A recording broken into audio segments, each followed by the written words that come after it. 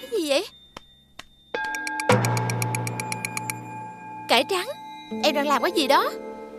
Ôi Đau không? Chịu nổi luôn chị Vân Trang ơi! Em Trời Em lăn trên bàn trong đầy đinh như vậy Không đau sao được? À Em đang luyện môn phái võ công gì đây?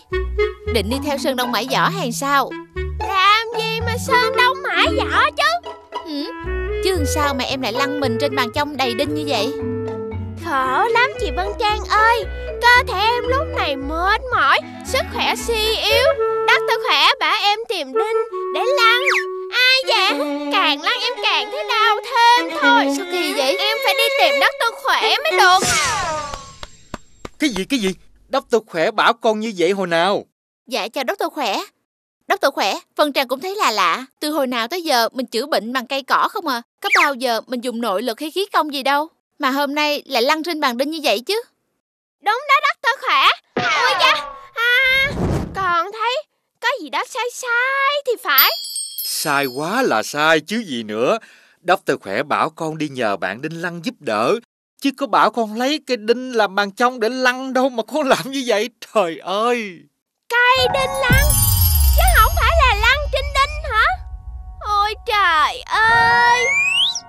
Hèn chi?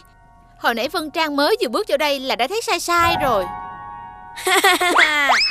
Trời ơi, nghe câu chuyện của cải trắng Cười muốn tét miệng luôn vậy đó. Chào bạn Đinh Lăng. Bây giờ thì thôi bạn Đinh Lăng đừng có cười bằng cải trắng nữa.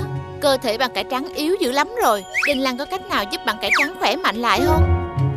Tất nhiên là có rồi. Em là đệ tử ruột của Dr. Khỏe mà.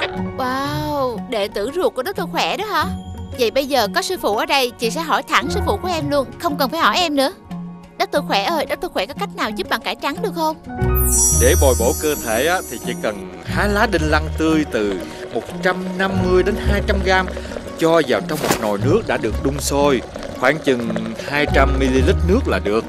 Nhớ đậy nắp lại thật kín. Vài phút á, thì mở nắp và đảo qua đảo lại vài lần. Sau 5 đến 7 phút chắc ra để uống. Uống từ 7 đến 10 ngày là sức khỏe sẽ cải thiện rất là tốt.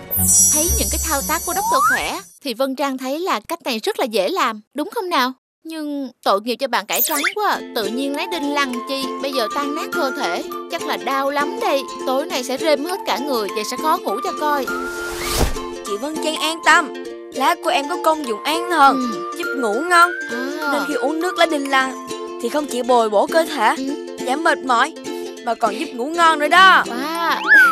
Chưa kể là nước lá đinh lăng giúp thải độc cho cơ thể và chống dị ứng nữa đó nha.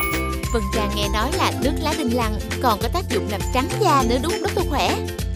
À, chị Vân Trang biết luôn cả công dụng trắng da của đinh lăng nữa hả? Ừ, đúng rồi, không chỉ riêng chị Vân Trang đâu, mà là tất cả quý vị khán giả là chị em phụ nữ đều rất là quan tâm đến vấn đề này. Trong chương trình sau, Dr. Khỏe sẽ giới thiệu tiếp về công dụng của đinh lăng đối với sức khỏe nha. Quý vị khán giả nha đón xem và gặp lại em nha. Ừ, còn bây giờ thì thời lượng dành cho chương trình cũng đã hết rồi. Vân Trang hy vọng là với những chia sẻ vừa rồi thì quý vị và các bạn cũng đã hiểu rõ hơn về công dụng của lá đinh lăng. Còn bây giờ thì xin chào tạm biệt và hẹn gặp lại. Tạm biệt. Chào, hẹn gặp lại.